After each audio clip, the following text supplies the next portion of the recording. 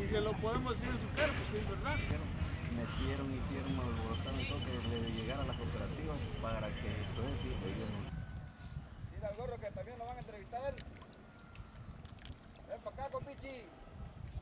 Cuando fue lo del toque, mis hijos tuvieron que emigrar de aquí, ya no nos daba para el sostenimiento de la casa, que fueron al estado de Tabasco. De hecho, allá se quedaron ya.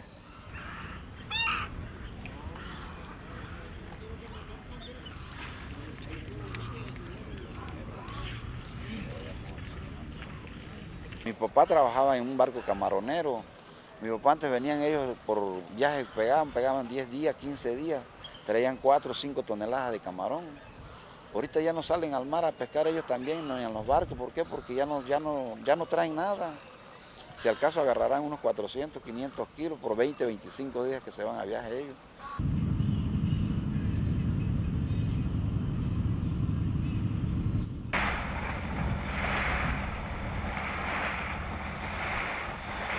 Crean un clima de inseguridad en la colonia y en el balneario principalmente.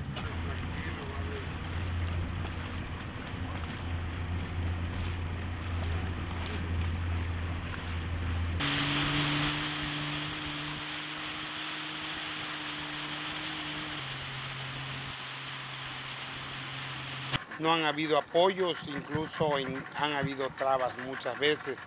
Eh, comentábamos hace un momento que por el desarrollo de la industria petrolera se ha visto afectado el turismo en Carmen.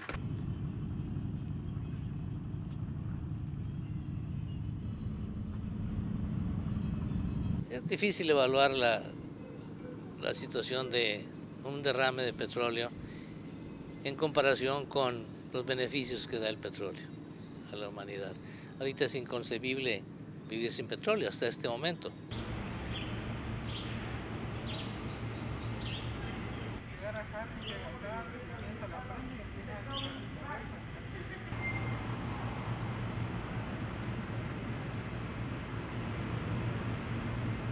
Soy estudiante de ingeniería petrolera, soy de aquí de Carmen, mi familia es de aquí de Carmen.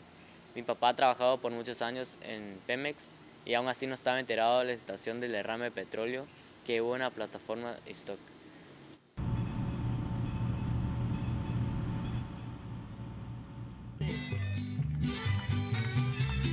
Como dicen por allá, vamos, vamos, fuerte el aplauso, ánimo todos.